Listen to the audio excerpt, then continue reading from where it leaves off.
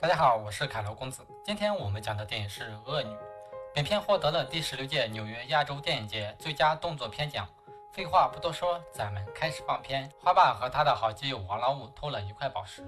花爸告诉小花，也就是本片的女主角，以后结婚了，爸爸会把这个宝石给你做嫁妆的。然而，没过几天，王老五带着吹口哨的人进来，拿走了宝石，并且用铁锤砸死了花爸。小花躲在床底下，她不明白。为什么爸爸交出了宝石还要杀了爸爸？他发誓一定要为爸爸报仇。王老五独自一个人再次回到房子，因为宝石被吹口哨男的拿走了，自己回来再找点值钱的东西。结果呢，发现了小花，于是就把小花卖给了高官。恰好一位杀手杀掉了这名高官。与此同时，小花拿着手枪直接杀死了高管的手下。这名杀手一看，好苗子啊，于是就带走了小花。这名杀手，咱们叫他大叔吧。经过十多年魔鬼训练，小花成了一位顶尖杀手，终于有报仇的能力了。快速找到了王老五，结果却中了陷阱，被绑了。而且告诉小花，杀你爸爸的可不止我一个人哦。这时大叔前来相救，毕竟姜还是老的辣，三下五除二搞死了王老五这些人，救走了小花。然后两人感情快速升温，准备结婚了。但是在结婚后没几天，大叔的好兄弟二叔为了解决小花的杀父仇人，却被人抓住了。大叔迅速前去相救，结果小花等来的却是二叔带着大叔的尸体。好不容易给父亲报了仇，现在自己唯一的爱人和寄托也死了。所以小花就独自一人来到了敌人的老窝，对方在小花枪击和尖刀下一个一个的狗带，最后经过惨烈的打斗，终于搞死了所有人，而小花受伤严重，被警察抓了。国情局通过监控看到了小花的打斗场面，感叹这女的很能打，啊，我们可以内部吸收，培养她当秘密杀手。于是负责培养暗杀的部门接走了小花，给她做了整容。小花找到了机会逃跑，碰到做饭的、舞台表演的、化妆的，然而他们就像看戏一样盯着她。最后被短发女打了一枪，同时小花的一举一动都被监控。而小白想做小花的监视员，每名杀手在外面生活执行任务时，组织都会派一名监视员。短发女是这个暗杀训练部门的部长，以后我们就叫她部长吧。小花现在已经感觉着生活没有意义，一心求死。而部长告诉她：“恭喜你，你已经怀孕了。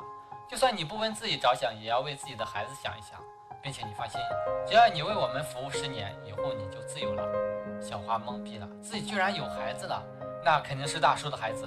无论如何都要把他养大成人，所以小花在这里接受了暗杀训练。当然，有人的地方就有争斗，挑事女总是爱找小花的麻烦，结果被小花暴揍了一顿。小花的女儿慢慢长大，终于接受了部长的第一个任务，只要这个任务完成了，就可以带着孩子搬到外面生活。任务的要求，小花暗杀一个团伙老大。经过一番打斗，小花成功杀死了目标。部长给他外面安排房子，开始正常人的生活。小白也就顺其自然住在了隔壁。先是故意和小花相撞，把自己的相框放在对方的箱子里面，好让小花归还自己。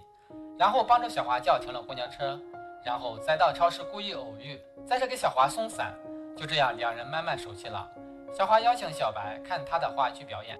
第二天，小花收到了新的任务，和小红配合偷取情报，于是两人色诱对方复制了手机上的重要资料，但被对方发现了。对方挟持小红，要求小花交出备份资料。经过一番打斗，搞死了对方，但小红却死。小花回家非常难过，小白给予安慰。慢慢的，两人就开始了谈恋爱，开始了结婚。其实小白自从小花接受暗杀训练时就喜欢上了小花，也是因此特地向部长申请，真心想和小花结婚。在结婚的这天，小花接受了另外一个任务，要用狙击枪杀掉一名目标。而等小花看清楚目标时，居然是大叔。他不是死了吗？为什么还会活生生的在这里？结果就故意开了几枪，放走了大叔。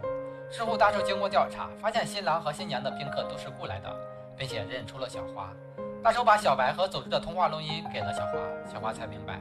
原来小白是监视自己的，瞬间感觉所有人都在欺骗自己，然后就告诉大叔有人刺杀他。大叔抓住了挑事女，部长怀疑小花告密，就准备带走她，却遭到了大叔的袭击。小花获救，准备带走自己的女儿，却看到家里发生爆炸。小白抱着女儿跳了下来，却都死了。愤恨的小花找到部长，想杀掉部长报仇。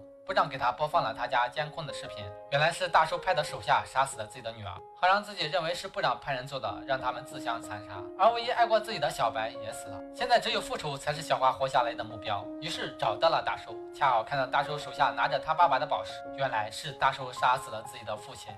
小花开启了大杀特杀模式，用机关枪快速杀死了大叔的手下，然后和大叔逼逼了几句，放下了手枪，两人开始用刀打。明明用枪可以搞定的事情，非要用自己的身手。然后小华和大寿从房子里面打到了大巴上，小华遍体鳞伤，搞翻了大巴，最后一斧头结果了大寿。本片完。小华在女儿、情人、妻子、母亲的角色中不断的挣扎，被撕扯，被欺骗，被错爱。她爱错了人，背叛错了人，始终救不了她爱的人。在不断的失去后，她跌入了永世轮回的人间地狱，彻底的黑化，成为嗜血狂魔的恶女。快快关注我的微博、微信公众账号“开头公子”。